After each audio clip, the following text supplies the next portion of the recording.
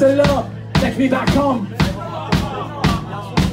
Ah,